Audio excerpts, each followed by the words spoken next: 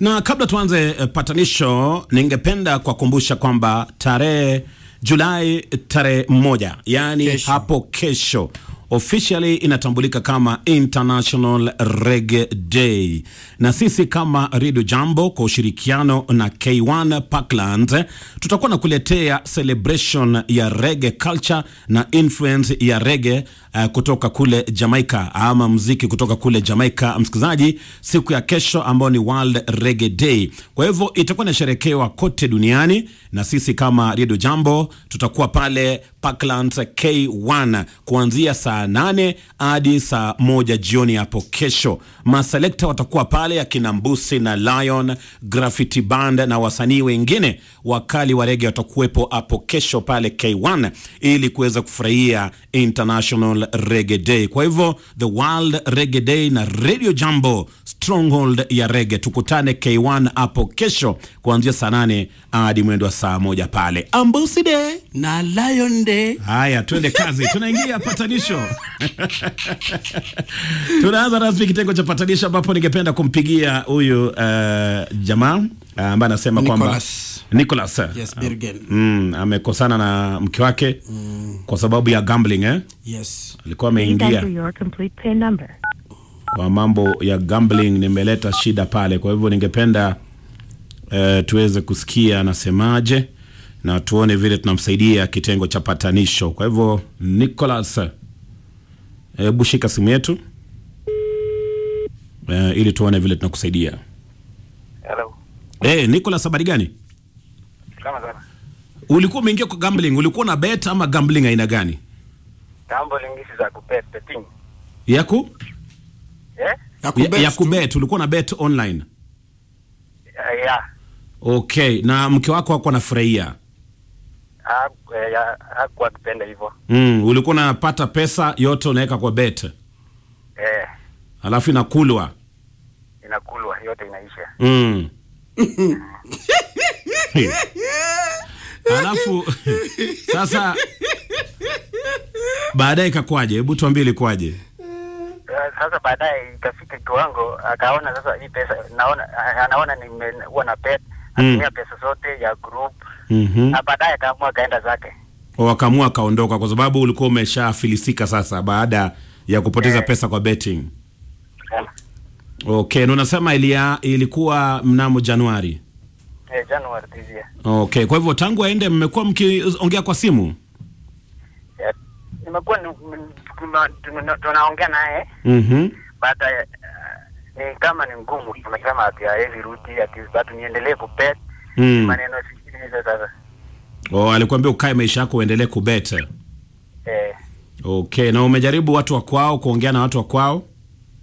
yaani meji- sijajaribu Hujajaribu? mm. Yaani umeleta tu patanisho direct. yeah, yeah, Unajua pata- nimejaribu tu kwa kanisa Mm -mm. Patanisho inafaa kuwa uh, the last point. Last resort. Last resort. Unafaa umeongea na wazazi, umeenda kwao, umejaribu kila kitu imeshindikana.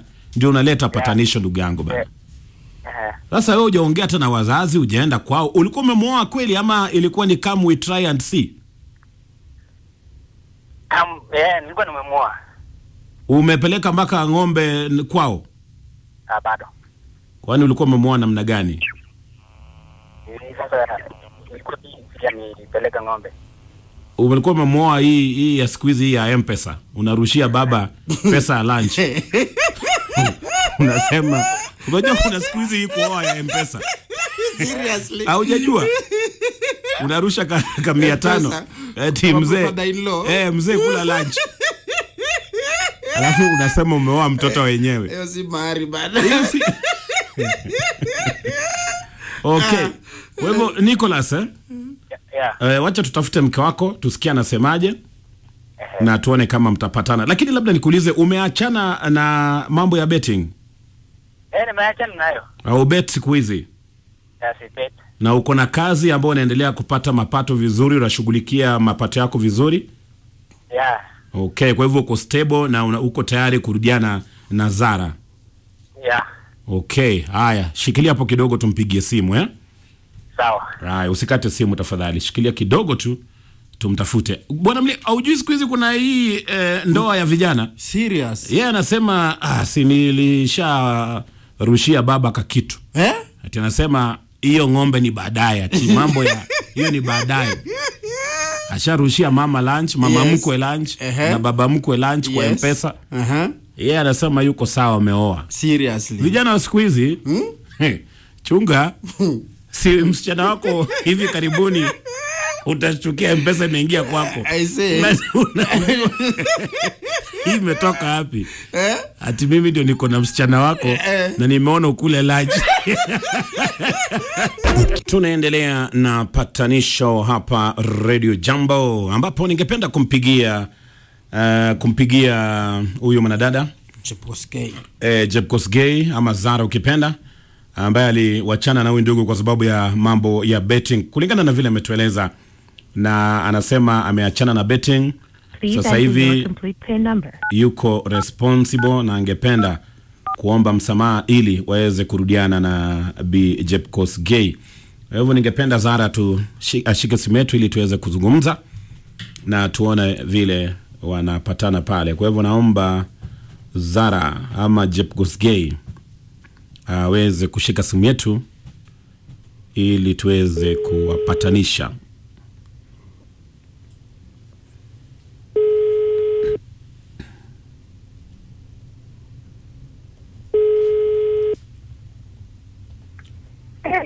Hello Zara.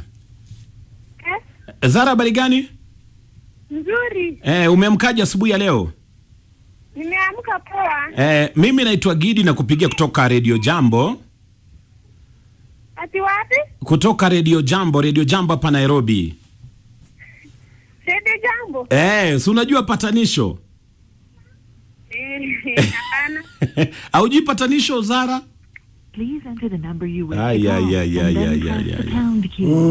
Zara amesema hapana, akakata simu. We, inakuwa ni kazi, Please kazi, kazi hapa. wish to call and then press the pound key. Eh, Nicholas, ya umesikia sauti ya Zara ama huyo si yeye? ni yeye, ni yeye huyo Huyo ni yeye eh? eh. Mm, nimesikia amesikia ni Radio Jambo akacheka kidogo akajua tu hapa ni patanisho Eh, na akakata simu. eh, nimesikia Umesikia eh? Sasa wasemaje, unataka kunipatia kazi nyingine tena? Jaribu tu mara ya mwisho. Nilijua utasema nijaribu mara nyingine. Haya, wacha nijaribu mara nyingine tena eh? Sawa. Haya, shikilia hapo kidogo nijaribu. Naomba Zara, ikiwa unatupata usiogope. Eh, uende kwa kaa labda your complete PIN number. umeogopa kuongea na sisi, wacha tumpigie tena, tujaribu mara nyingine tena. Zara, usiogope, tunataka tu kujua msimamo wako.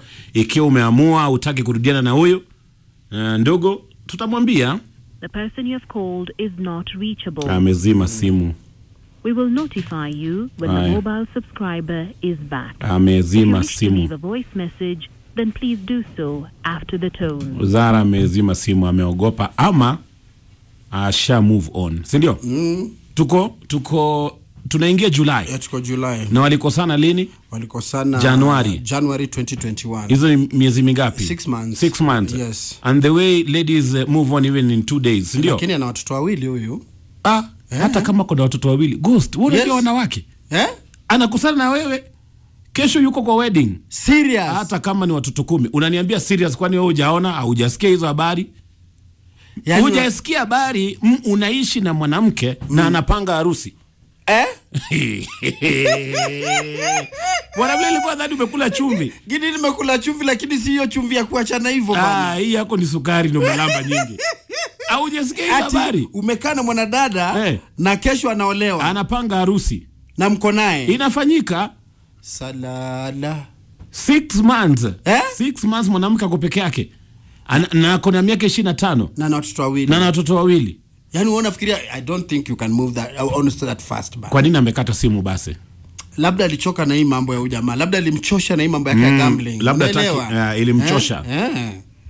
Sasa sijui itakuwaje. Wacha nijaribu mara nyingine tena, wacha nijaribu mara nyingine tena kumpata Zara. Naomba Zara, Please enter your complete PIN number. usiogope kuongea na sisi, hata kama utaki ujamaa, unamwambia tu mimi sitaki mambo yako, I've already moved on, na sisi tutaelewa.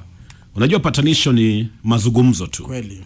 Na kuweza kushawishi The person you have called is not reachable. haya ni wazi amezima simu kwa hivyo hatutaweza kuendelea E, Nicholas Yeah. E, Zara amezima simu yake anakwanga hivyo tu, nikijaribu mara ya kwanza, Mm. mara ya pili anazima.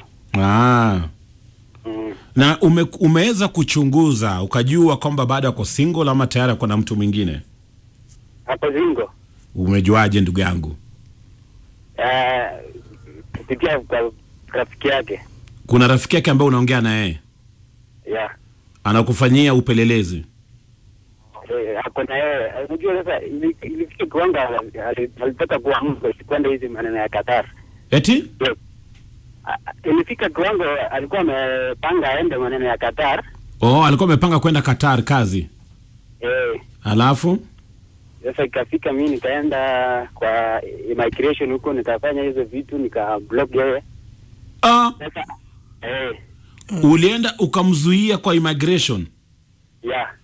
kwa nini ndugu yangu Sasa alienda bila ku, ku, kuongea na- kuongea na mimi, yani kupanga sasa safari sasa aende.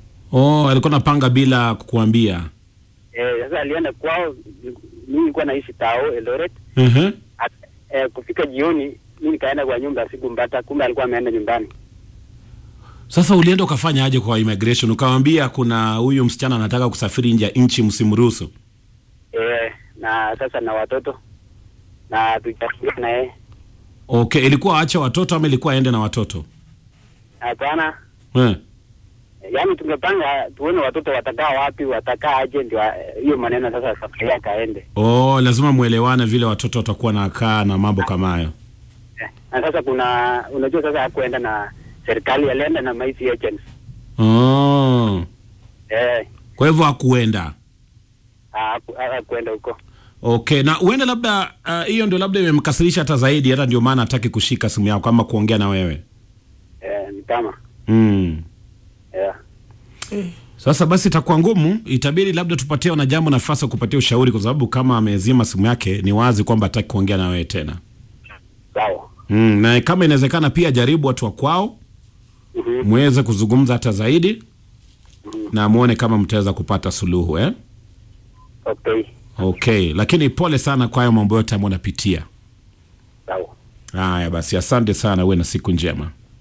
Pia na Okay, hiyo imeshindikana kwa sababu Zara amezima simu yake, ni kama hataki kuongea, na inakubalika ikiwa hataki kuongea. Uh, ina tunakubali kwa sababu hapa tulazimishi mtoto kuzungumza.